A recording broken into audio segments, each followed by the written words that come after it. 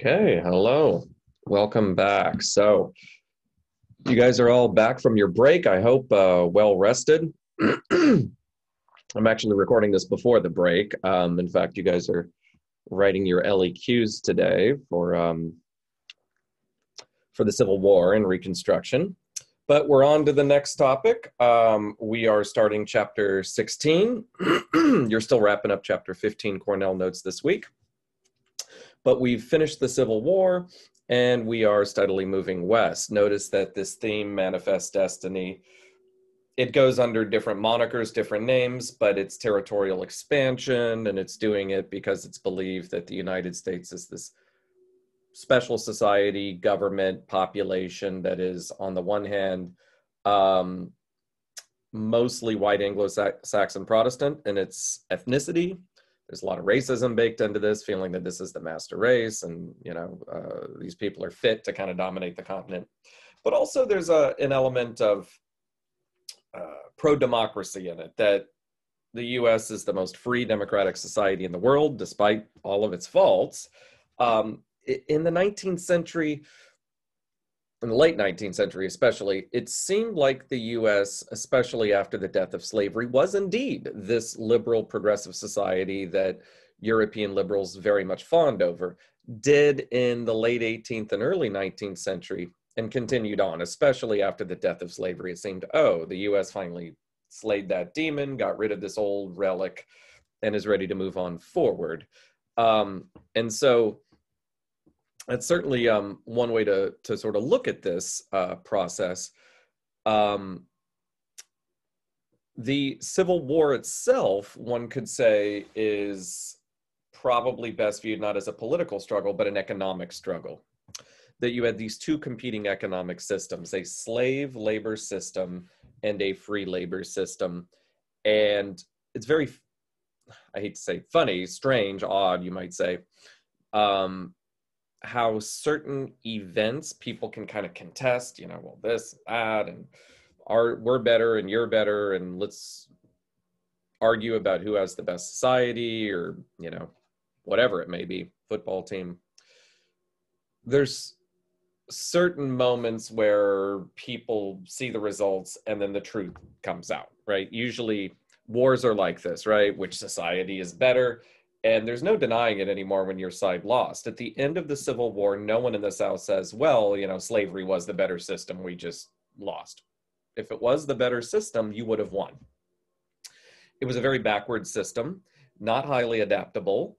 Um, it never solved basic problems that uh, that it had, like how on earth do we transform our cotton into finished products? How do we set up a national bank so that we can more effectively fund the war?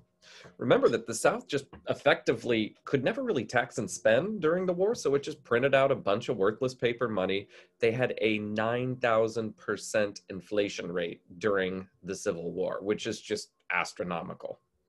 It's just unbelievable, um, which shows you that they can't basically can't perform the normal functions that a society needs to provide for its uh, for its citizens. Um, so in this ultimate contest, slavery is proven to be the inferior system. Capitalism was highly dynamic, malleable, uh, adaptable, and highly productive, incredibly highly productive. And although it wasn't an easy task to do, uh, the North and capitalism wins out. And so one could look at the 1850s as sort of this debate which system is more dynamic and better? And they argue and they argue and they argue politically. We have a ultimate contest, a violent war, and capitalism proves itself to be the dominant system. Had slavery been better, it would have won, and it didn't. And then a good way to view what happens in the next decade or so uh, is that the North wins the struggle and that it implants its economic system on the West very violently, but it does indeed do that. Um, let me share my screen here so that you guys can see. So, you know, so that's essentially one way to look at it, like an economic perspective. You know, take the politics out and the morality play of which is better and all of that kind of stuff. It's really an economic struggle between two systems which capitalism is one, and now it wants to implant that system onto the West because this is the United States of America. We have vast economic resources. West of the Mississippi River lay the Rocky Mountains, the Great Plains. So there's wonderful uh, capitalist business opportunities to expropriate a country that didn't have a property system and peoples that didn't have a property system. The Native Americans, some 300,000 that lived west of the Mississippi River, did not have said property system. Uh, and it would be relatively easy to take two thirds of a continent from them,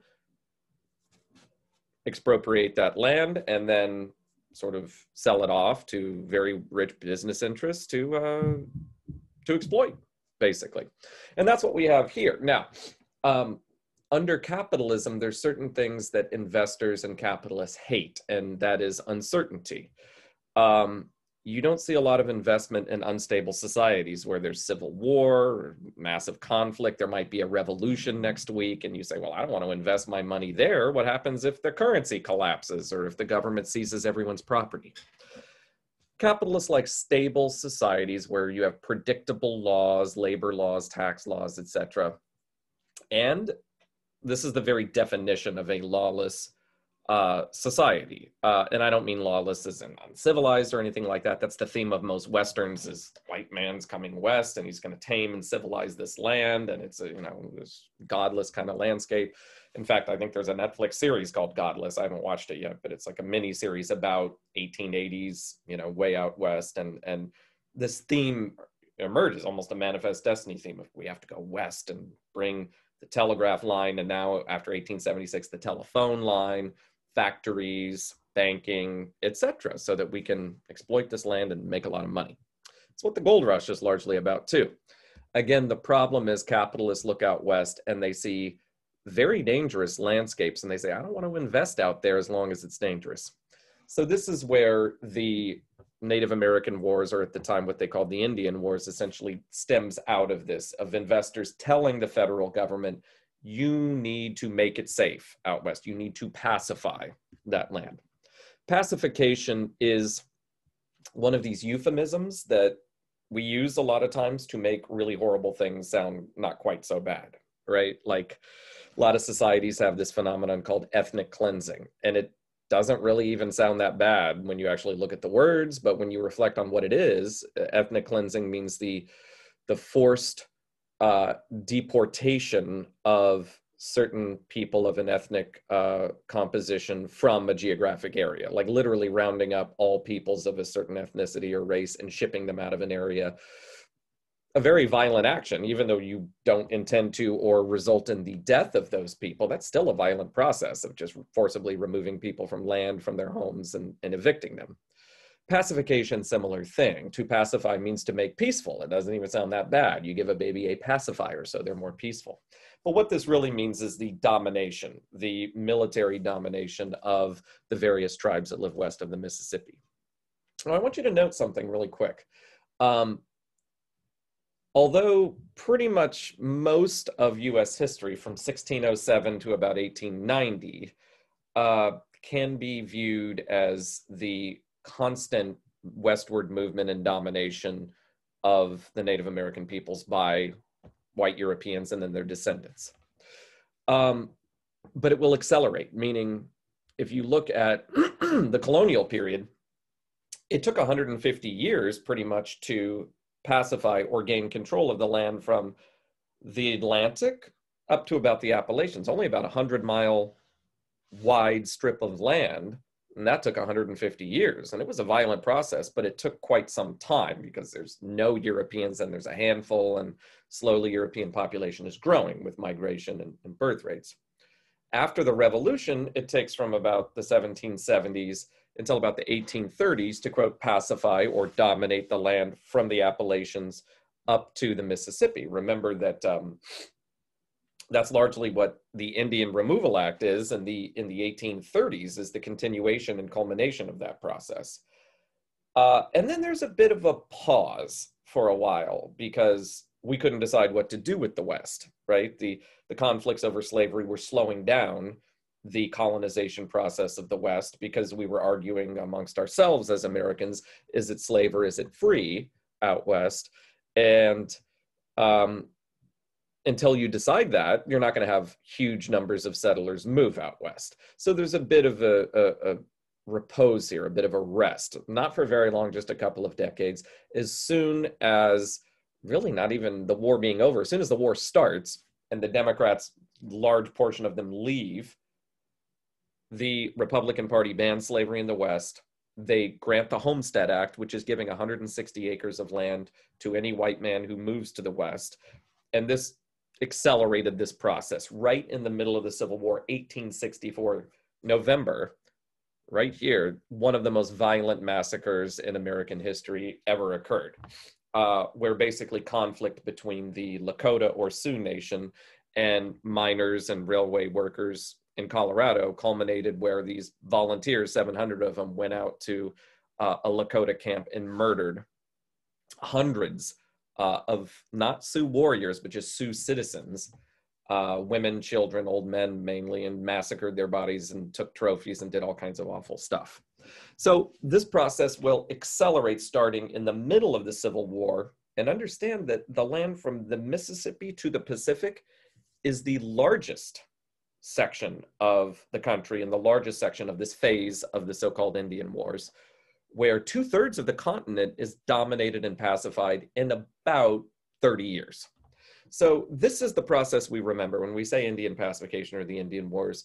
You could go back to 1607 and talk about the Powhatan Nation in Virginia or uh, the Narragansetts or the Pequot in Massachusetts.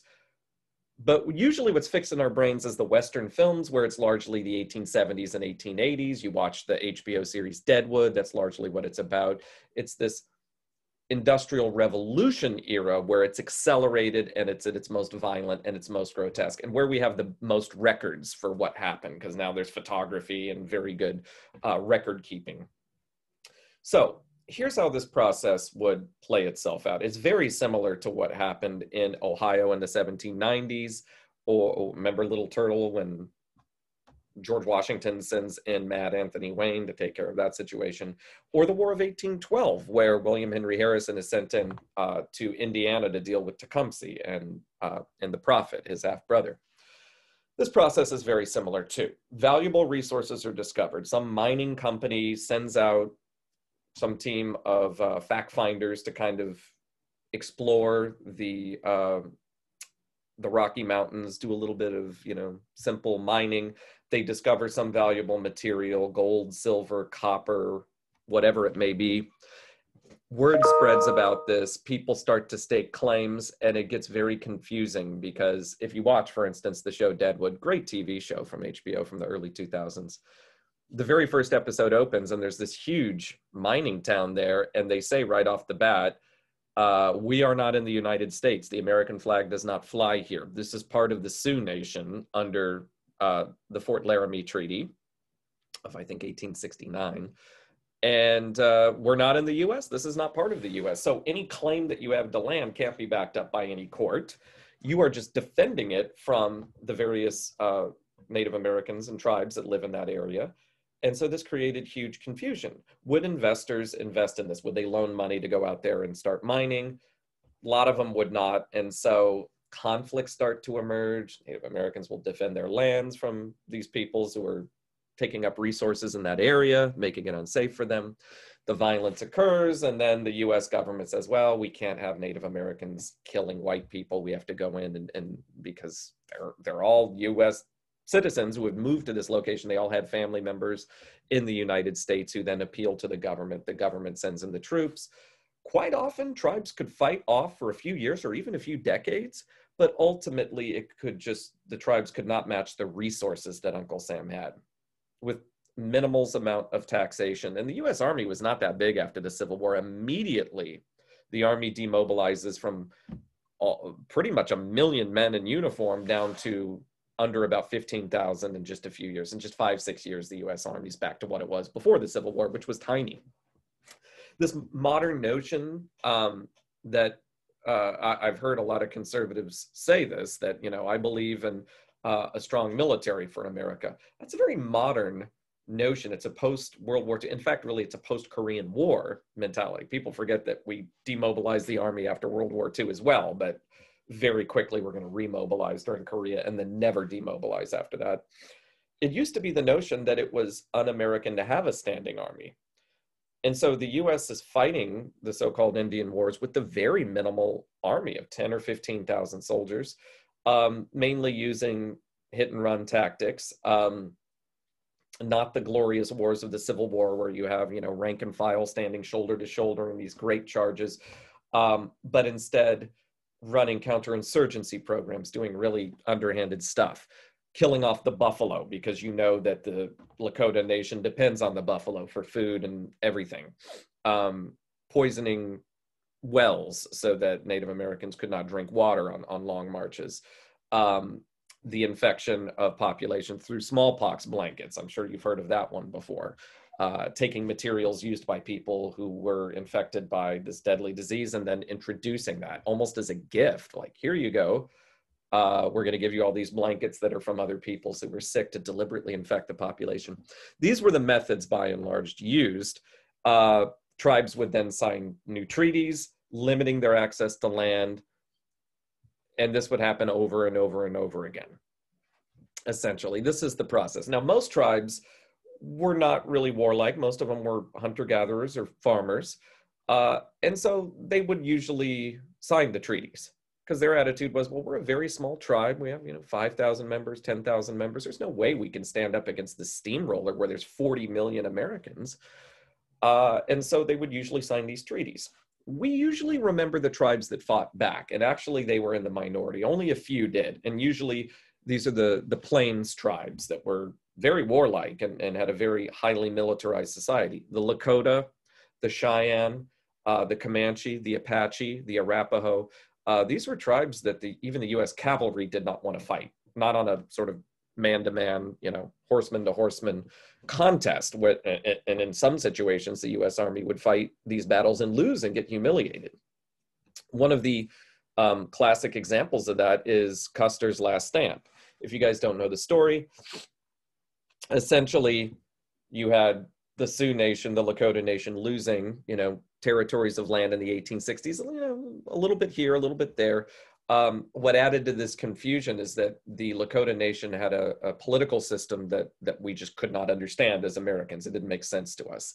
They had three chiefs, um, and in sort of descending order from the most uh, accommodationist to the most militant, uh, first, you have Red Cloud. Red Cloud was a Lakota chief who was willing to negotiate, um, very diplomatic, who had been to Washington, D.C., and invited there on a diplomatic mission, and just was stunned by what he saw and said, when he returned uh, to the Dakota territories, he said, You do not understand.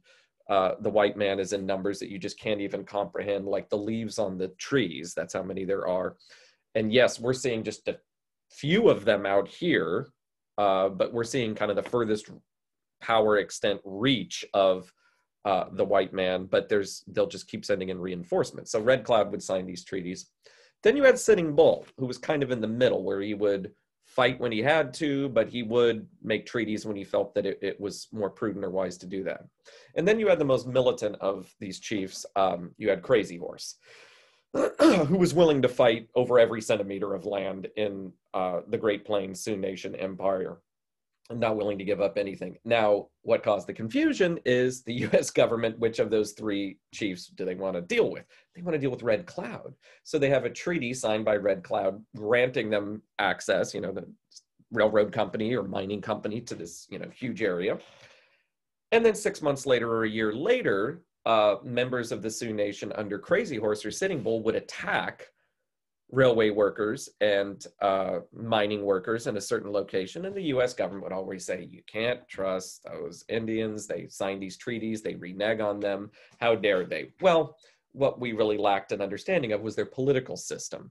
It really was almost like states within an empire and but almost like shifting geography where they didn't claim a certain geography permanently but it was the members of that tribe that held that power and they were able to migrate around and move around in that kingdom speaking of which um, the, the sioux nation was enormous.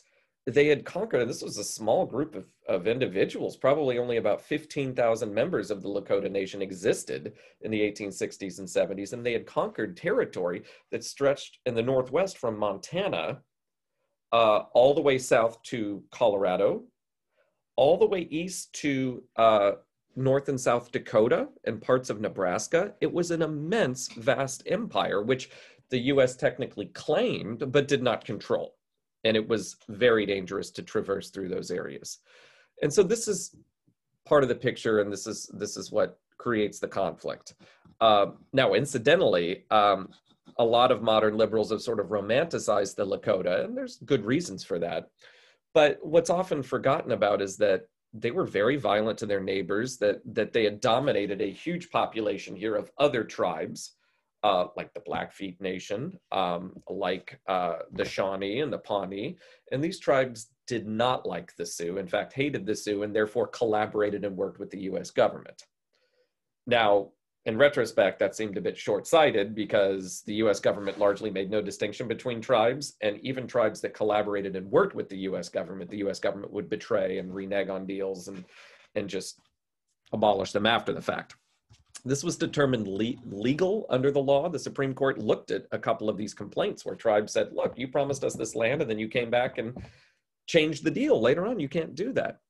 And the US Supreme Court said, with sovereign nations and other countries, we cannot change the terms, but the US government deemed that the Native Americans were sort of wards of the state. They remember under the Intercourse Act, they were dependent nations, so Congress could just overturn treaties whenever they wanted unilaterally and would do that over and over and over again, hundreds of times to hundreds of tribes. Just say, we're altering the deal, we're just changing it. And we gave you this land, yes, but now we found something more valuable on it. So it didn't really matter if you fought back or if you collaborated, you were going to lose, you were going to be re- removed to a reservation. This is the beginning of the reservation system. Um, because it was felt this would be the least violent alternative, right? this is how we're going to avoid conflict is you will be over here on land that we prescribe for you you can operate within these you know boundaries uh, and we will have the rest and these lines will be firmly demarcated now part of the problem with this is that native americans are given the most worthless land imaginable because if it was valuable farmland it would have been given to whites to basic yeoman farmers if it were valuable mineral wealth it would be given to the mining companies if it was great cattle ranch land, it would be given to the big beef companies. By definition, these strips of land are pretty much worthless. The land is even how we say non arable land, meaning that you cannot even grow food on it. Um, so, how do these tribes support themselves after they've been defeated and they sign these treaties? Um, well, largely they are supplied with help from the government, basically. Um, and if not, they would starve to death. Um, in any case, uh, in the case of Custer's Last Stand, what happens is uh, sort of a mining expedition that goes out to the Black Hills. After the Treaty of Fort Laramie, there's these rumors like, I think that we didn't quite get all the land that we wanted. Um, and we need to go back and we need to take more. There's rumors that there's silver in the Black Hills. Custer is sent out by the US government. He was a US cavalry general, a hero in the Civil War. Um, in fact, he had graduated right when the war broke out. And the story's rather amusing. He graduated last in his class and was always proud of that at West Point. Um, and so he is sent out to kind of disprove the rumors to say, oh, yeah, it's not true. There's no silver there. Instead, he finds huge quantities of silver. He writes this report, it leaks out, and people just descend on Deadwood, South Dakota. They just show up and start claiming land and sort of setting up a government and, and a civilization there. Um, Custer then uh, goes out to sort of stop the tribes from from doing this. They, he goes out to sort of defend these settlements against um, against strikes from the the Lakota, and he walks right into a trap. Custer had, I think, just 300 men, and he walked into a trap that Sitting Bull and Crazy Horse had set for him, and he and his men are completely wiped out. No survivors, every last one of them killed and it was humiliating. It, it was the worst military defeat in American history before Pearl Harbor, where everyone assumed that the you know the battle of the little bighorn as it was called or greasy grass as the lakota called it that it would be a, a pushover we'd be able to win it very easily And when news reports came back that Custer and all his men were massacred, there's huge shouts for revenge, of raising larger armies and continuing this struggle. And the U.S. Army took quite some time, took another decade, but uh, eventually, excuse me, can't talk, eventually does win this struggle, gets the Lakota Nation to surrender pretty much all of their land. And the rest is history, so to speak. Been dealing with the repercussions ever since. That's just one episode of this uh, this saga. There were hundreds of tribes west of uh, the Mississippi River, and this process is played out against them over and over again. Now, this is the most violent iteration of it. It's it's the the one that we remember because initially the Lakota win and U.S. government was humiliated, um, but it happened over and over and over again to to all kinds of various tribes in the area. Okay, so. Um, what are we left with afterwards? Well, what we're left is with is basically by by 1890, uh, the so-called Indian Wars are done. Every last tribe has signed a treaty. They've been pinned in to various reservations. Um, there's not this sort of huge open territory called Indian country that everybody's afraid to travel through. It's very safe to travel west. Essentially, the West has been pacified. Um, it's very sad because this is a group of people native to the American landscape who controlled everything from sea to shining sea in 1491 and 400 years later it had all been taken away violently from them. And that's that's it. There's pretty much no more conflict after that. Um, a people who probably numbered 10 to 15 million people in 1491 uh, had dwindled down in numbers to about a quarter of a million. Uh, now something very interesting has happened in the last 20 years. Um, numbers of native americans have surged much higher than birth rates have now, the reason for this is that there's a lot of folks who might have been ashamed of identifying as Native American before, you know, one quarter Cherokee or you're you know, half Navajo, and you hide that. You don't say it. In the 1940s and 50s, you would never come out and, and tell that to people. There were Native American players in baseball who pretended to be Italian, who would literally change their names because they knew they could not play because of the discrimination. And in the last 20 years, that discrimination is not entirely gone away, but it's been minimized. Um, and a lot of people are now claiming uh, Native American ancestry when before they had not. So the numbers have shot up in a huge way. Um, the largest tribe in America uh, is the Navajo Nation. There's a quarter of a million members just from that one tribe. Um, and so this trend has been stopped and it's in fact accelerating in the other direction which perhaps is good but there's this whole other legacy to deal with now the the land issues right? And um, just last year or i guess this year in 2020 over the summer the supreme court and a very conservative supreme court uh, decided that the entire state of oklahoma or at least a huge portion of it like half or two-thirds still belongs to the cherokee and was in fact given back. Um, and and if you sort of follow the news stories right now, this has encouraged many other tribes to say perhaps we can get our ancestral lands back that were basically illegally taken away after certain treaties were just overturned. Um, and we'll see that play out in the next couple decades. It's very interesting and very exciting, and, and we'll see exactly what's going to happen here. But this is a legacy of us. Please understand that the United States is not a European nation um, the legal system, the political system, the cultural system, the language is derived from European peoples, but this is a a motif of American society that Europeans don't get, they don't understand. There's an entire subgenre of American literature and fiction and film called the Western that exemplifies this struggle. Um, and at first, there was very much this uh, attitude, this theme when you watch them that the whites were the good guys, the Indians were terrible people and savages, uh, and this struggle goes on, and you know people in the 1950s and, and even 60s would watch these old westerns and cheer for you know the, the white soldiers and boo and jeer when Native Americans were on screen. Usually, again, played by Italians or other, you know, people who, who were not Native American. Um, nowadays, it's much more nuanced than that. If you watch westerns today, it's very unclear. It's muddled. You know, who's the good guys, who's the bad guys. Um, but nonetheless, Europeans don't understand it, don't get it. They don't dress up like cowboys, they don't watch these movies. It makes no sense to them.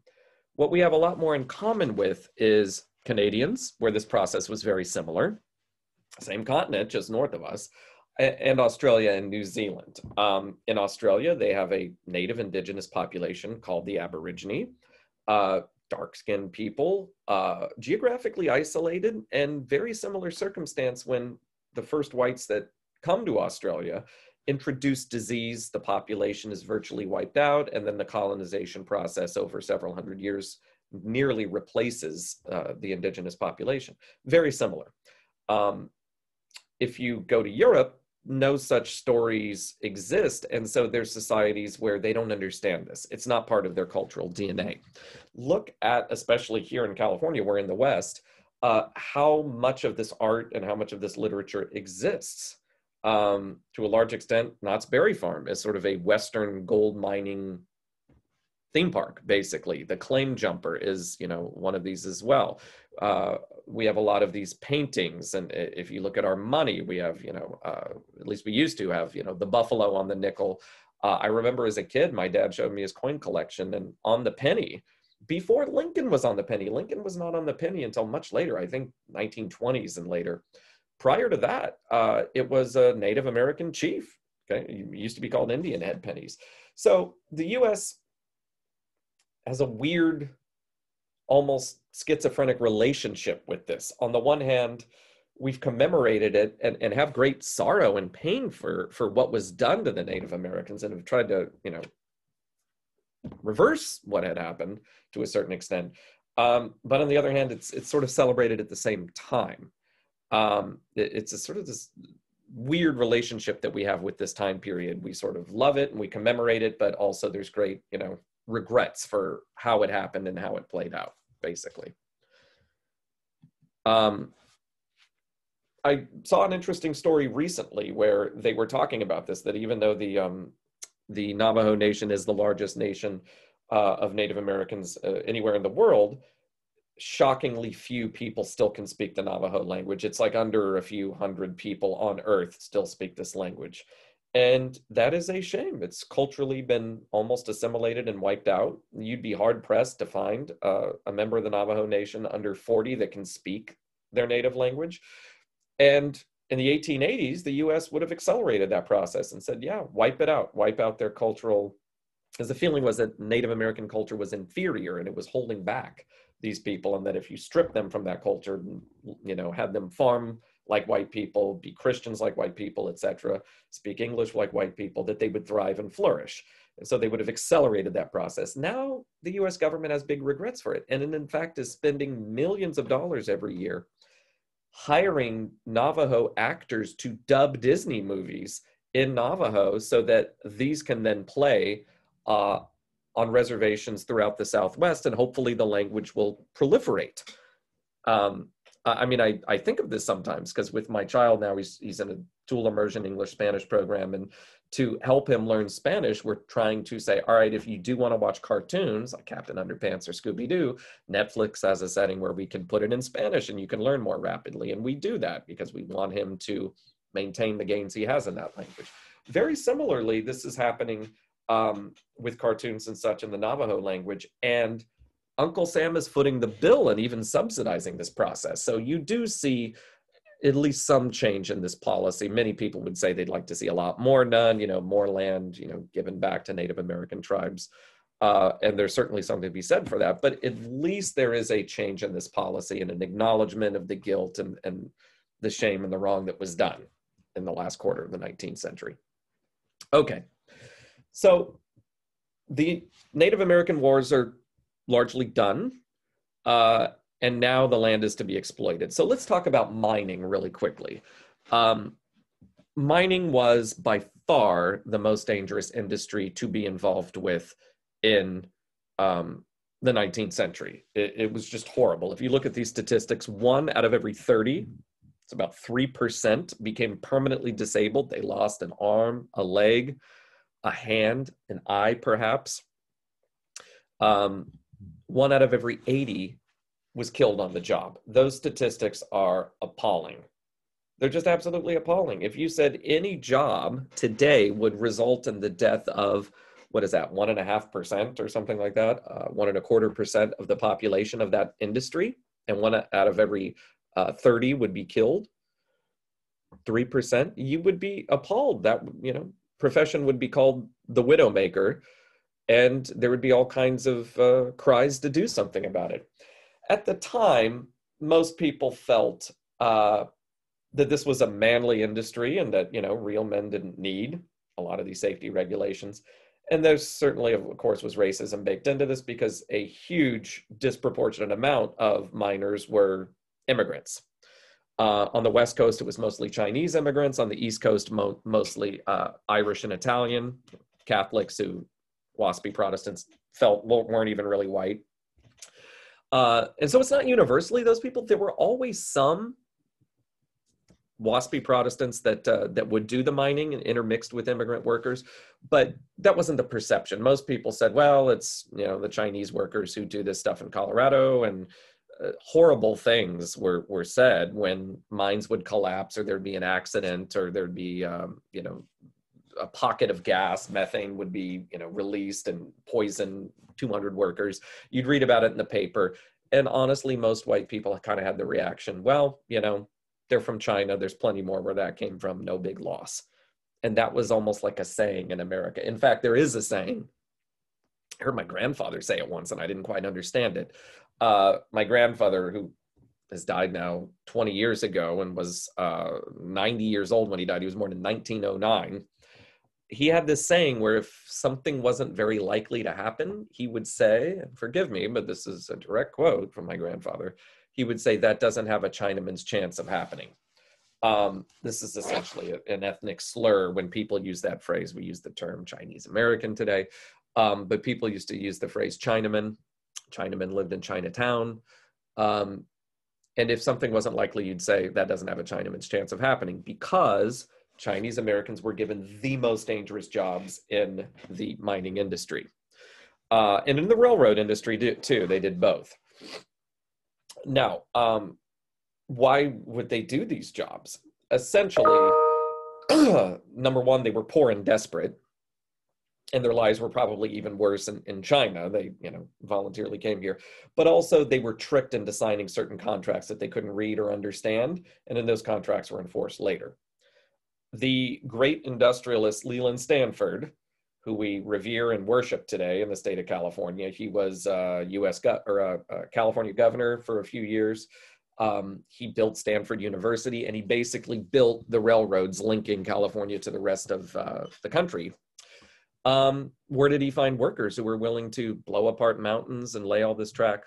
He had industrial agents go to China and set up these booths and recruit people and sign these contracts. They would come to California and then they would realize this is very, very dangerous. Uh, the jobs that were particularly dangerous, like get in this little wicker basket and we're going to like, you know, lower you down hundreds of feet and you're going to stick a piece of dynamite into the cracks there, light it, and then give us the thumbs up and we'll pull you up to safety. That's your job.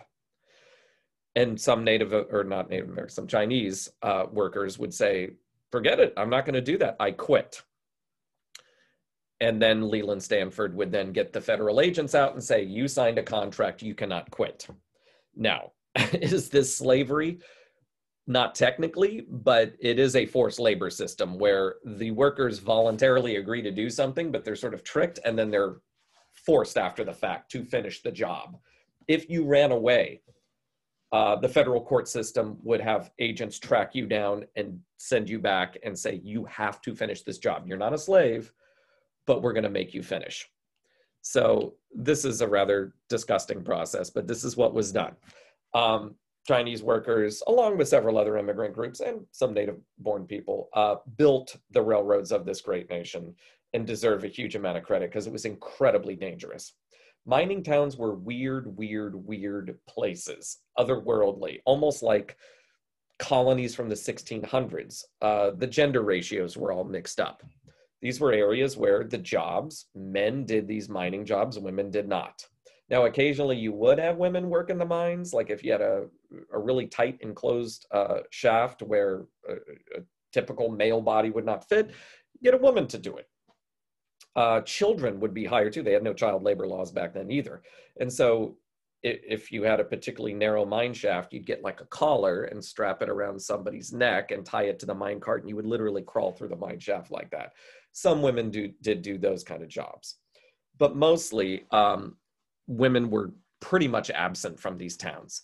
They would um, work in the saloons, um, usually as prostitutes, uh, hired and and uh, uh brought out there by pimps, basically some of them would be wives and daughters of the saloon keepers, sort of, you know, I'm associated with the business owner in some capacity, but the gender ratios were usually 10 to 1, right? Like 10 men for every one woman. So, as you might imagine, feminists write today about to- toxic masculinity. Um, whatever you think about uh, these theories, it does seem pretty true that when you exclude women from a certain area, bad things start to happen. Men just behave pretty badly when there's no women. Women I think kind of act as a moderate moderating influence on men. They're, they usually tell us when we're doing stupid stuff like, "Hey, that's dangerous, dumb dumb, don't do that kind of stuff." Oh yeah, you're right. I probably shouldn't do that kind of stuff. I shouldn't get in a fist fight over this guy over some ridiculous card game or something. So you had a lot of violence. Uh, you had a lot of bad behavior. You had a lot of that kind of stuff. Um, you also had a system which was very non and in fact I would say anti-democratic. Um, I've already, you know, explained to you these awful labor contracts that existed where you could not quit your job and the government would force you using violence to go back and finish your job. What's less American than that? Isn't it every American's uh, dream to quit their job? Um, well, you couldn't do that. Second, you'd get to these mining towns and they were quote unquote company towns. It was really terrible, meaning you get there and there is no mayor and there's no city council. Um, there was a very famous, I should say infamous, uh, mining company known as um, Anaconda Copper. And Anaconda Copper owned the town, as they said, lock, stock, and barrel. They owned everything. There was no mayor, there was no city council, there was the company. The company is all powerful. They own everything. They spent the money to develop the mine, they also own the general store. Okay, it's not like today where you got 18 grocery stores within a five mile radius and you go to Trader Joe's or Walmart or whatever you want. No, you go to the company store. So you give that paycheck right back to the boss and it's a monopoly. So he screws you over. He has these ridiculous prices. In fact, there's a lot of these company towns that don't even pay you in dollars, they pay you in what was known as company script. Today, this would be the equivalent of working for Walmart and getting paid in a Walmart gift card. And you can only spend it at Walmart and it's useless anywhere else. So you can't even really quit your job, uh, even when your contract's up, because you take that company script to another town and it's worthless. It's not US dollars all of these practices are illegal today. They've been put out of existence by very good labor laws that we have because this is how corporations behave in the absence of any regulation. They just say, well, human beings are just machines to make us money and we're going to do whatever we can. No safety laws, no regulations. You've probably seen in movies or you go to Knott's Berry Farm to the Calico Mine Ride and the guys have like little canaries and bird cages down there. If you ever wondered why, we have this phrase, you're the canary in the coal mine. The, canaries, I think birds in general, are just more sensitive to certain poisons than human beings are. And so that was your basically your breathing mask of today, right? Where nowadays miners would go down into a mine and have breathing masks so that they don't breathe in the poison gas. Back then, they didn't have such things. And so they just had a canary where if the canary keeled over and died, you'd say, All right, out of the hole. And everybody would run out because you hit a methane pocket. That was your defense, a canary, basically, that would warn you. Um, a mine shaft collapses and kills 25 people, you can't sue the boss. They had no laws that allowed you to do that kind of stuff. You lost an arm and you can't work anymore. You don't get workers' compensation. There's no minimum wage, there's no maximum hours, there is nothing to protect the worker. So these are pretty horrible, lawless places. Um, there's a very famous uh, folk song that Tennessee Ernie Ford uh, recorded in the 1920s. Um, and uh, the the lyrics go that you load 16 tons what do you get another day older and deeper in debt st peter don't you call me because i can't go i owe my soul to the company store right meaning I cannot even quit this job and move on because all I have is this company script and it's worthless and the company store literally owns my soul. Very depressing song, but this was a depressing fact of life. Interestingly enough, there was a group of white people in the Rocky Mountains who uh, were also sort of targeted by Uncle Sam. Not nearly as violently as Native Americans, but the feeling was that the Church of Latter day Saints, the Mormon Church, was uh, bizarre, godless, that they were polygamous, that they were just terrible people, and that they could not be given a state to control. Utah had the population to become a state as early as the 1870s, but the US government just couldn't imagine it. I mean, these were people that practiced polygamy and community property. The church owned everything, they didn't have private ownership. So you had these sort of mining companies in Utah that were much like the rest of the US and their culture and everything. And then you had the Mormon church that was there that was totally different, operating under a different model of existence. And so the Mormons were targeted by several federal laws. This is US territory in the 1870s and 80s, and so you can tell them whatever they wanted. Um, several US senators, uh, Senator Edmunds in particular, really hated the Mormons and threatened them with seizure of their property uh, and all kinds of other penalties if they did not go mainstream, basically. Finally, the Mormon church relented. They resisted and resisted and resisted. And finally, in 1890, they said, okay, we're going mainstream. The church fathers at that time renounced polygamy. They said, we do not practice this anymore. We will not practice it going forward. We're going to be mainstream and we're not going to do community property anymore. We can force members to pay a tithe to the church, but we're not going to own their homes and property and businesses and everything else. And so this was a huge change in the Mormon church. Many people are still very prejudicial towards the Church of Latter day Saints. And, you know, I kind of sympathize with the Church of Latter day Saints here. I remember when Mitt Romney ran for president in, in uh, 2012, just eight years ago, and there were all kinds of comments because he is Mormon. Oh, how many wives does he have? And you know, all these, you know, slurs against the Mormon people. And I said, you know, I'm not Mormon, but if I were, I'd be really offended my church gave that up in 1890 you know 120 years ago 130 years ago now and people are still on and on about it it's like you know enough already right? The, the church has gone very mainstream. All right on to the next one. So we have one industry. We have uh, the mines. We talked about that. That was one of the great resources in the west and that's being exploited at this time. All kinds of metals and materials are being dug out of the mountain ranges, melted down, made into iron and silver and copper and all the rest of it.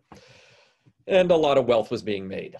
Amazingly, even more than the mineral wealth, the biggest moneymaker out west was beef. Beef was a huge industry. It still is a pretty big industry, but it was the biggest at that time. Nowadays, we have high technology things that are much more lucrative than beef. But at the time, in the last quarter of the 19th century, beef was not the largest industry in America, but the largest industry west of the Mississippi. So the Spanish introduced the Texas Longhorn into Texas when it was still Tejas um, in the 1700s. Um, in fact, probably earlier than that, even. And it had some of them had sort of broken free and gotten away from Spanish ranchers, and they started to breed just kind of wildly on the Great Plains and competed with the buffalo for certain resources. And honestly, this probably killed off more buffalo than uh, the U.S. Army did, trying to you know force the the Lakota to surrender. It killed uh, more buffalo than um, than any other means. Was just ranching was the encouragement of cattle to eat up all of the free range grass in the Great Plains areas. And then the buffalo just largely starved to death. Just in a matter of about two decades, the 1860s and 1870s, buffalo shrank from several million down to just a few thousand to the point now where seeing, seeing them in the wild is truly extraordinary. I mean, you pay pretty big money to, uh, you know, go on tours of uh, Yellowstone to actually see buffalo in the wild or you guys, if you went as freshmen, you might have seen them in Catalina, which I was very disappointed to find out that cattle are not indigenous or uh, uh, buffalo are not indigenous to Catalina, right? That those are like brought in. They were brought in to film a movie in the 1950s, and they just sort of left them, and they're sort of you know wildly existing there. But they were brought there very recently. It's not like they've lived on Catalina for centuries or millennia. So, beef was a huge industry. Um, now, uh, at first, most of these cattle are controlled by uh, farmers or ranchers in New Mexico most of them were Mexican before the Mexican War. Now they live in the US. And a lot of underhanded things were done by territorial governments and by the federal government to, again, expropriate that. Much like what was done to Native American land, this was done to uh, Mestizo people, Chicano people in California, in uh, New Mexico, in Texas. Uh, they were bullied, they were threatened, they were sent in crazy bureaucratic circles where they said, well, you know, you have to prove that you own this land. And then they submit the papers and you say, well, you know, this is in another language. We can't read it. And, uh, you know, until you can find an English deed, we're not going to, to grant this. And so much of this underhanded stuff went on. It's estimated about 75, 80% of Chicanos who owned land and were ranchers and had any kind of property uh, were turned into paupers basically. Instead of owning the ranch a few decades later you're working as a ranch hand for some white person who stole that land essentially from your father. So this is done all throughout the west. Um, and uh, and then the industry starts to thrive. Now basically the heart of the industry is that america's getting very rich in the 1880s we, we're now 20 25 years out from the civil war and the economy is booming. Immigrants are pouring into the country. Uh, just a steadily growth in, uh, in industry all over the country. And as people get richer, their tastes change. Um, and when you study economics, there's this interesting phenomenon known as inferior products.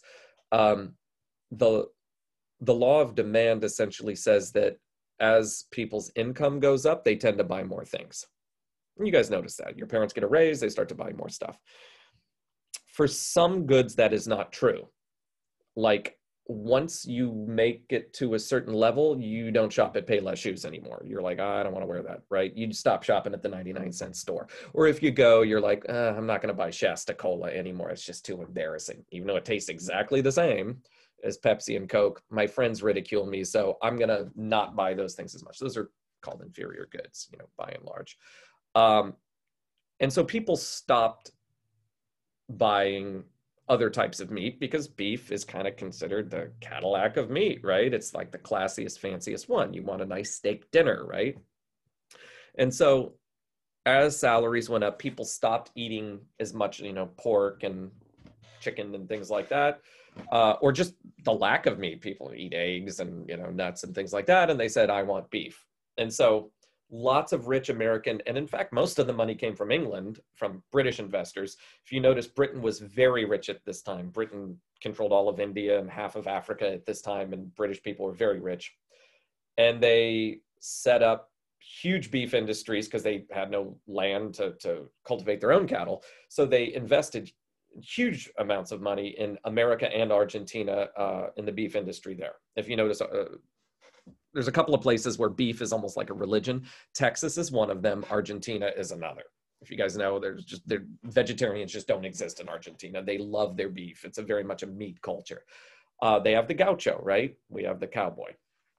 Incidentally, uh, UC Santa Barbara, that's their mascot is the gaucho. It's essentially the, the cowboy. Um, so let's talk about the cowboy real quick. You have very hungry mouths in America ready for beef the problem is that the cattle are far away from those markets where you have to get the cattle to the people. And so you had to transport, physically move hundreds of cattle every month from Texas out on the Great Plains in the panhandle of Texas, a thousand miles north to Chicago or a little closer, Kansas City, where they had big cities and slaughterhouses where you would then sell it to the slaughterhouse owners. They would slaughter it and then they would then sell the beef modern refrigeration did not quite exist yet. So beef had a very short shelf life. So you had to get beef to the actual places where people would buy it and eat it in just a few days. It's not like now where we have factory farming where you can set that up almost anywhere. The cattle are slaughtered and then the beef can be put on refrigerated trucks and transported anywhere. That didn't exist at the time. So you had to physically drive, not in a car, but like on a cattle drive, like these four cowboys here, would on a horseback try to manipulate and move a herd of usually uh, 300 head of cattle per person. So these four guys could probably uh, move 1,200 cattle on a cattle drive, and you'd move them a thousand miles up to Chicago. It this would usually take a month. These cattle drives, and when you got paid, you get paid thirty dollars at the end of it, which you would usually blow in a single night. Right? You'd go into the local bars and brothels in Chicago and go spend the night with a woman, drink a lot of whiskey, spend it all, and then ride on back to Texas and do it all over again. This business has been so romanticized in American life. Look at Woody, right? You guys watch Toy Story. The hero of the story is Woody. Although I've watched these movies a lot now that I have a kid, Woody is a huge jerk in the first one. He is not a nice person. He's so mean to Buzz in that movie. Knocks him out the window, right? Um, we love the cowboy. Go to Texas, people are dressed up like cowboys all the time, which is really weird when you think about it, because there have been no cowboys since the 1880s. Um, so it is a Halloween costume that people are wearing all the time, right? It's it's rather bizarre. It'd be like if I dressed up as Julius Caesar or something. It's like all the time, every day, right? That's what people are doing with cowboy boots and 10 gallon hats. It's like there have been no cowboys for a long time. It was a short window of time that this existed. Basically, from the end of the Civil War in the 1860s until uh, 1886, basically, 87 is when it ended. That's it, just 25 years or so. So why has it been so romanticized? Um, largely because in modern American life, uh, we have to have jobs, right? Pretty much. And business owners, I t- guess, technically don't, or their business is their job, but most of us work for wages. We have a boss.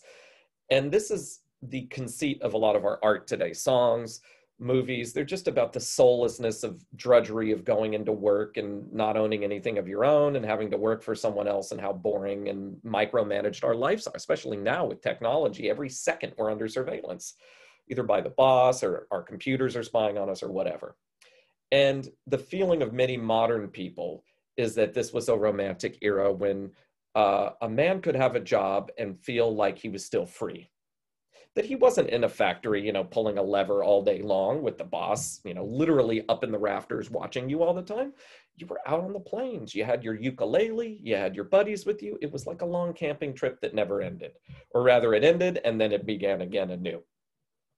Um, you, it also harkens back to uh, what a lot of men feel is sort of a lost era of masculinity that you didn't call 911 if you had a problem. You were out on the range with your herd. What if the Comanche come out of nowhere and threaten you? Uh, there was this sort of cowboy code, almost like medieval knights, where a cowboy did not leave the herd for any reason. You were under the employ of a certain beef company. You did not uh, run no matter what. And so you would go down defending the herd, just the four of you. Um, it's not like today where, you know, I, I have fired a firearm probably three times in my entire life. I'm not an expert on it. If someone broke into my house, I don't own any firearms. I would call 911, right? Uh, which many modern men they just can't quite get over. They just feel we've been totally emasculated, right? We don't defend our castles and our property anymore. Take the law into our own hands. We just delegate that out to somebody else, right? That's the price of civilization. So many people sort of like this. This is as as my grandfather used to say, different grandfather on the other side, he would say, this is a time back when men were men and women were glad of it, right? That even women today don't like that men have been emasculated and, and stripped of all kind of sense of, of being able to defend themselves and defend their families.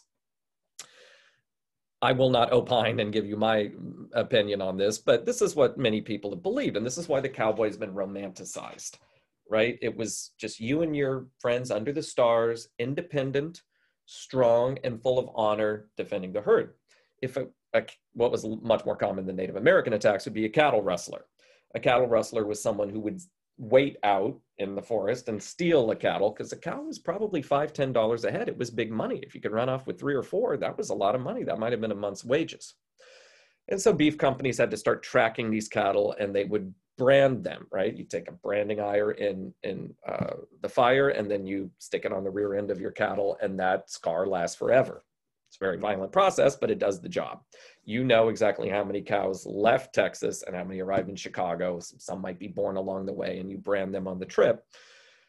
And then you can see if you're missing some of them, and then if they pop up somewhere else. If you go to a cattle market and a cow has someone else's brand on it, they know that you've stolen it.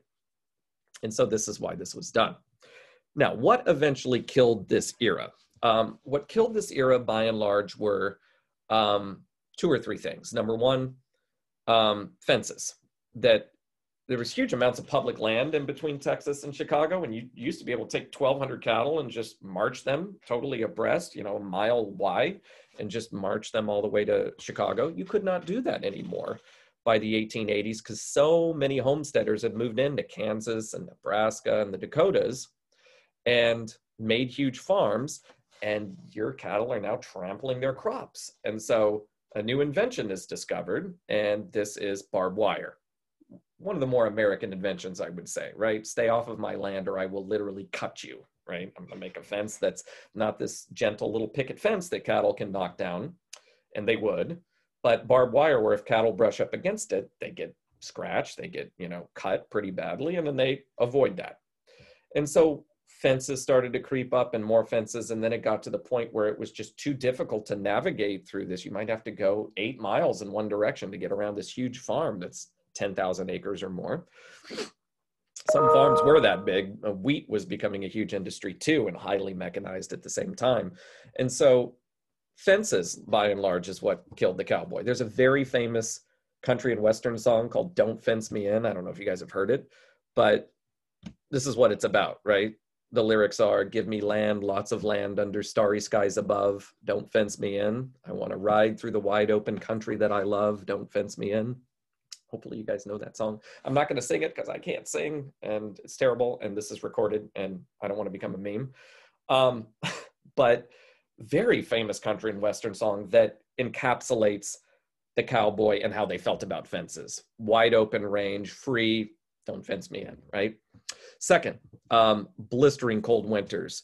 Three of the coldest winters on America and on record in America in the American West struck the Midwest between 1885 and 1887. Some of these cattle drives, all you could do, you would get hit by a blizzard midway through. The cowboys would set up tents and you know try to light a fire to keep warm.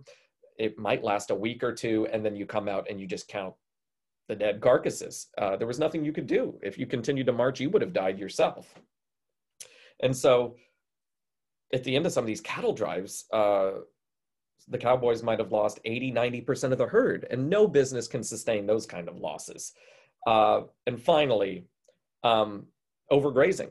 That so many farmers moved into the Midwest that they brought their own cattle and their own animals, and they just totally ate all the wild grass. And so, for long stretches, 100 miles or more, there's no grass to graze on and there's no water because so many rivers had been diverted for irrigation for crops that the cattle would either die of thirst or die of hunger on these drives. So effectively this ended the cowboy industry and what they started to do was say let's move some of the herd up to these cities to the outskirts and then we'll breed the cattle there. They won't be free range anymore. Again one of these things that we pay top dollar for. We will pay huge amounts of money to get free range beef, right? Beef where the cows are not fed corn on a high density feedlot, but instead they can exercise more, get, you know, uh, graze around and the meat the meat is more tender it's more lean it's you know better quality etc it's how beef was meant to be way back in the day before modern factory farming. So that's the cowboy and that's the beef industry. Um, it, it's a very curious thing. Again, we have so romanticized the cowboy. Again, we, you know, he's an icon in America, not outside of the U.S. very much. Though I want you to note that that people don't dress up as cowboys uh, for Halloween in England. It makes no sense to them. They have no his. They're totally cut off from it. It just doesn't make any sense. Um, but in America, it's very much this icon where, again, a lot of people in Texas dress up like cowboys every day which to me is very weird, but you know, hey, I'm from California, I'm a city slicker. So let's now move on to the homesteaders. In the middle of the Civil War, when the Republicans gained these huge majorities, some two thirds of the House and two thirds of the Senate, they could do whatever they wanted at the federal level. And they started saying, what are we going to do with the rest of the Louisiana territory? Still, in 1862, even though Louisiana was purchased in 1803, still it was not largely settled. Few places like St. Louis and New Orleans, but even Kansas, although a state, had very few people there. And so, how are we going to populate this region? The Republican Party decided to give 160 acres of land to any white man who moved to the Louisiana Purchase territory and you lived on it for a year and if you quote improve the land, like a federal inspector came out and said, okay, you have a dwelling on this land and you're growing something, then you you get it free of charge. You pay up front, but then you're refunded the money on the back end. This is truly extraordinary. Now, I will say, I mean, this is a process where land is being stolen from the native population who was here first. Um, it's uh, a, a process that's not very nice in that respect. But I want you to reflect on something else. There are waves of revolutions in the 20th century that at their heart are largely about the uneven distribution of land.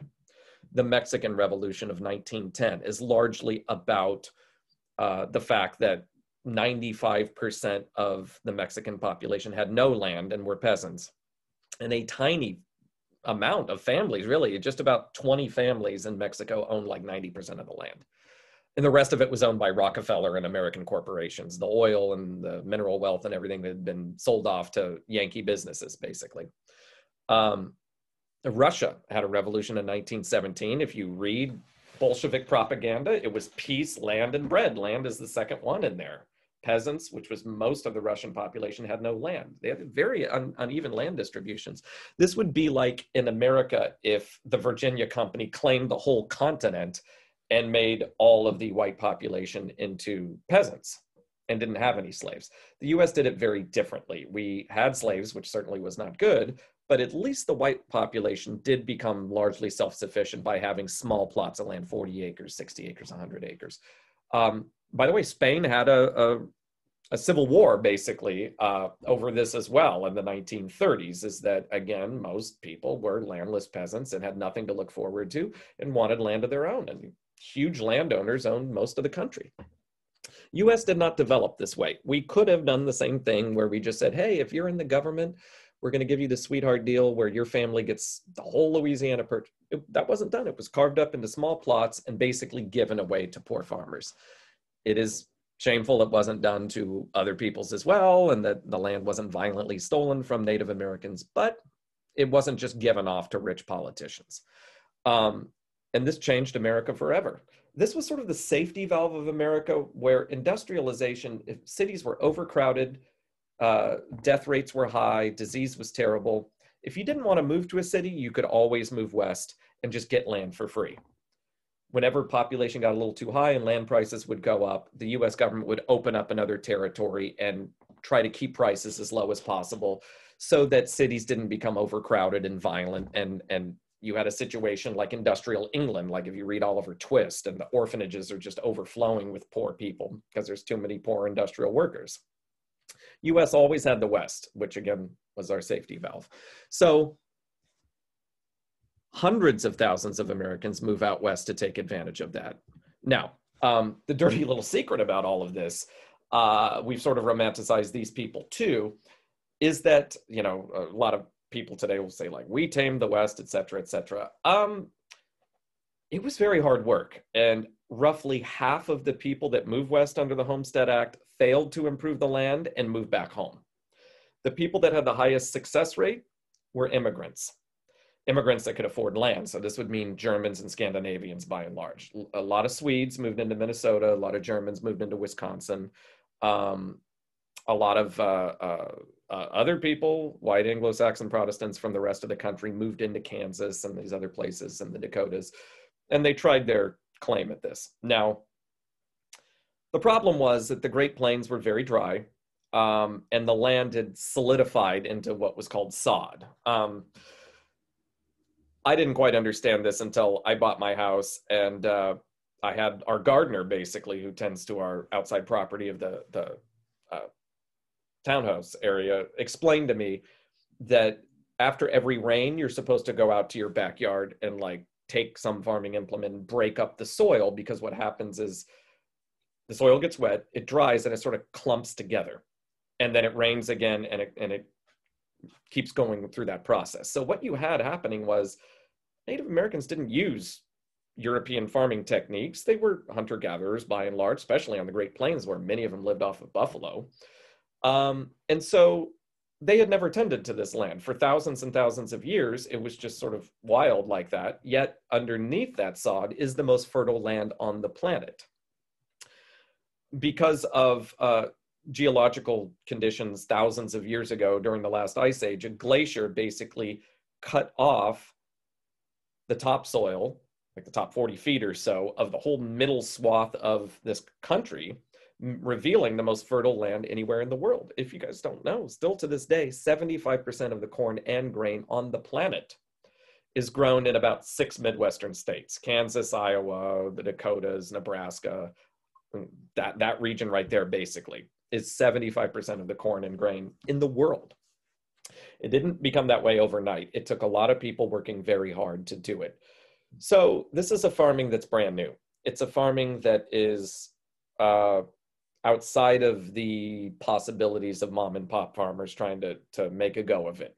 First of all, you would have to borrow huge sums of money to even begin. Now, the land is free, but you would have to buy farming implements to break up the sod. Very little rain out on the Great Plains, so you would have to uh, dig wells and pump water out or divert rivers to irrigate your land which was a, a huge process, which means you have to dig crop rows that are dug well. You can't have the water pool in certain areas. It has to go out, you know, you have to have it on a slant and, and do it so that the water trickles down and, and gets to all sections of the farm. You have to have pesticides and herbicides. You have to take care of, you know, weeds that grow there and you have to get rid of the locusts that, that swarm there.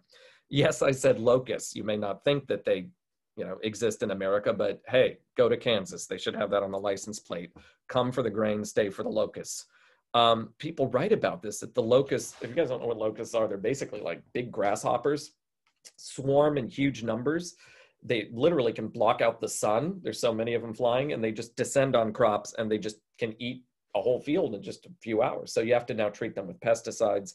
This was hard, hard farming. So uh, then you have all the machinery of the tractors and the balers and all that stuff. Now, let's say you don't want to do that. You just say, I'm going to do it all by hand. Well, your neighbors now are 10 times more productive than you. They've produced way more grain. They can sell it at a cheaper price, and now you're out of business. They're going to gobble you up. They're going to basically say, hey, we're going to buy you out now and make our farm that was 160 acres. Now we're going to buy yours, and we're going to be 320 acres. And this is basically what happens is successful farmers who played the game and played it well, um, who incurred that debt, but then gobbled up their neighbors and were able to pay off the debt. They do well. The small mom and pop ones slowly get pushed out of business and they moved back to Indiana or New York or wherever they came from. For the immigrants, it was conquer or die. They were not going back to Germany or Sweden or anywhere else. They were going to try their hand at it and succeed, and most of them do. Um, but the work was just too hard for most native born Americans, and they just said, forget this. This is just no fun. It's incredibly lonely and isolated out on the Great Plains.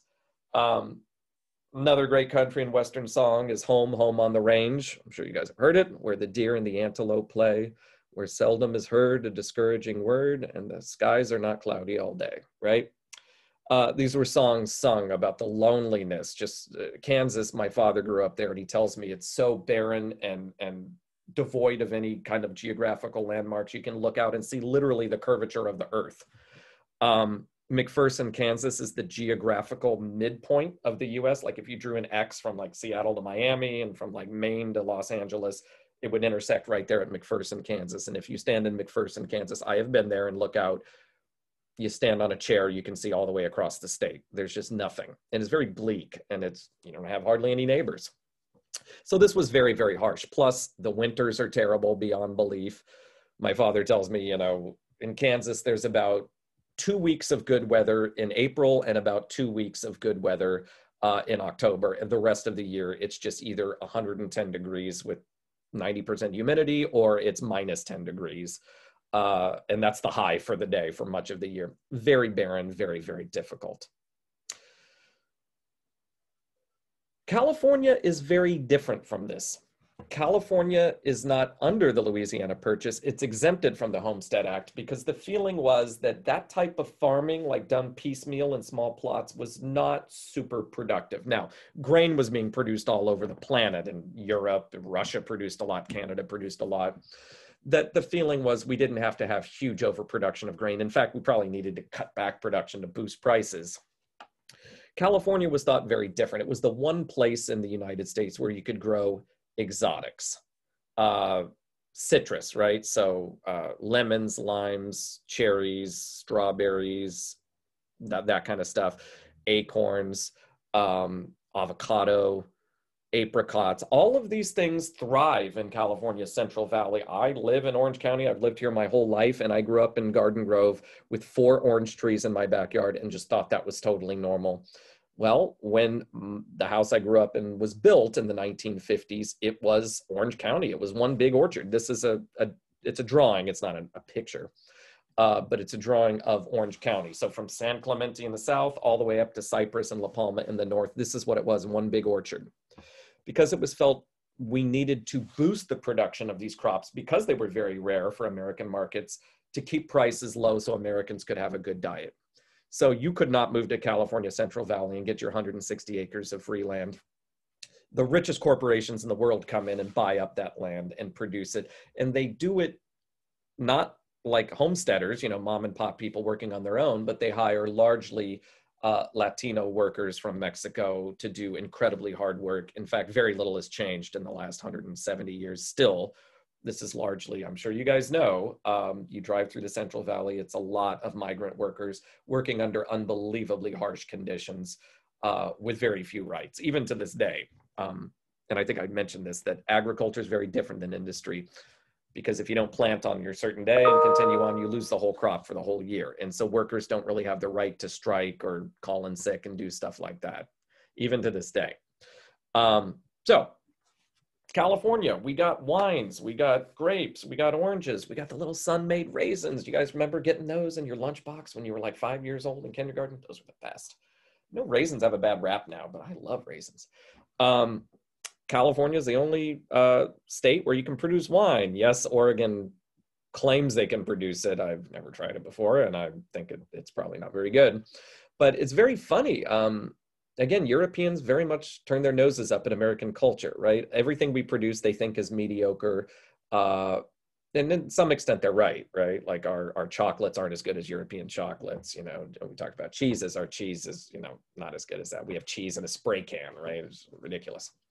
Um, just about 30 years ago or so, um, at some of these wine competitions, a lot of California wines beat out the French ones the French would never like to admit that, but French grapes that have been cultivated for thousands of years, like the Cabernet grape, right? Uh, Pinot, all these grape species have been transplanted to California where they've thrived. And where California wineries, it's this thing you do when you're middle class and you live in California. You go to the wineries in Temecula or Napa Valley and you go on one tram and you tour it and you drink the wine. It, it's very much a, alcohol, like so many things in American life, has this class component to it, right? If you're working class, you drink Budweiser, right? If you get enough money, you start drinking the IPAs, the Indian pale ales, right? That are microbrewed and they're very fancy, right? And if you get a bit more money, you start to appreciate fine wines and stuff. And California is sort of the mecca of this in uh, in the United States and really in a lot of places in the world. There's a lot of people from all over the place that come to California to see Napa Valley um, and, and to appreciate that. I've never understood this, you know. Like, you know, even when I do want to have the occasional glass of wine, I've never understood. I want to see where the wine comes from. It's like, well, wine is portable. You can move it to a city. I can sit on a street corner uh, in New York and have a glass of wine, why do I want to look at where the grapes come from? Right? It just never made sense to me why you would want to do that, but I don't know. Some people do it. As you can tell, Osborn does not like camping. I absolutely hate it. I'm not a big fan of nature and bugs and sunburns and stuff. I like the indoors. It's great. Okay, so moving on to our last slide here, spirituality and ecology. The American West is a unique place on the planet in that it was um, industrialized very late in the scheme of industrialization, meaning that by the time that the Western lands started to industrialize, where mining companies and logging companies and, and beef companies came in, that there was now finally the thought of preserving some of this land, right? That um, if you go to Japan, for instance, it industrialized such a long time ago and they deforested so long ago that they have regrets now. They're like, oh, oops, we chopped down like 90% of our forest hundreds of years ago and we never thought about the consequences of that. Same thing in Britain. They deforested, they mined a lot of their mountains ages ago and they never thought to preserve it. So, what you have in the US are large national parks, which were preserved in the late 19th century uh, for people to appreciate today. Essentially, the environmentalist movement springs out of the romantic era, right? The transcendentalist movement that we have to preserve some of nature for its spiritual quality, right? Think of Yosemite here in the picture. Now, it's in California. I guarantee most of you have been there at some point in your life, and it's gorgeous. How would you guys feel tomorrow if Yosemite was sold off to private businesses and they came in and they built a Walmart in the valley and they said, hey, you know, like I think of this sometimes. I would love to go on that hike up to the top of Half Dome, but I'm kind of too old and out of shape, and uh, it would I, I, would never be able to finish it. And you can't get up there by any other means. You got to hoof it, right? What if we built an escalator to the top and we built a Starbucks on the top? Wouldn't that be great? Think of the commerce and the jobs. Well, I hope most of you are yelling at your screen right now saying, Osborn, but it's so beautiful. It's our national property and heritage. We have to preserve it the way it was so that future generations can enjoy it. And if you, and I agree with you, and if you ever do go to Yosemite, what I've noticed every time I go there, and this is for all national parks, Sequoia, the Grand Canyon, all of them, and our state parks too, you know, Joshua Tree, etc., um, is that I see a lot of foreigners there. I see a lot of tourists from Japan and South Korea and China and, and England and I hear more German and French often at Yosemite than I hear English or Spanish, which are the primary languages of California. Uh, it's almost like we don't appreciate this stuff because it's so close to us. But if you live in other countries, you find out, oh yeah, we destroyed nature a long time ago and never even thought about it. The US, at least we have the thought to preserve parts of it so that future generations can get that spiritual enjoyment. And again, I'm not a camper. I camped in Yosemite 10 years ago and, and I love Yosemite, but you know, not showering for like five days was just awful. Um, you got to pay five dollars and wait in line 45 minutes to take a shower, and we never had the time to do that. So I thought that the experience was bad in that aspect. So I like to stay like in a motel outside of the valley, and then you drive in, you walk around for two, three hours, you take a picture, and you go, "Great, I got the point. I don't need to live in it for five days." But even I can appreciate the beauty of these natural landscapes. They're great. And now with social distancing, it's one of the few things we can do and not be indoors and, and have fun on vacations, right? It's hard to go to hotels, uh, restaurants, etc. But you can still go camping and keep your six feet of distance and you're outdoors. So a lot of people are renting these, you know, uh, you know, trailers and driving to various uh, national parks or just just driving there on their own and pitching a tent it's great stuff. This is something that's kind of unique to the US. Like I said, a lot of these European countries are just very small and they didn't preserve this stuff. So this is this is great. Um, and again, it becomes our mythology. We love these books about Annie Oakley and Billy the Kid and you know all of these figures from this particular time period. Movies, um, television shows, books about the Old West it's become this sort of mythologized part of our history. Now, modern film and TVs, if you watch Deadwood and stuff, they very much take the shine off of it and show you just how rough it was and, and frankly, how awful it was in a lot of ways. Um, but it remains a huge part of American culture. Not as much in Southern California, but if you go to Arizona, New Mexico, Texas, still this Western motif is huge. Think of all of you that have dream catchers in your room. Uh, think of all of you that uh, you know you go camping with your family. How many of you your dads love these old western movies with john wayne and clint eastwood and they watch them over and over again?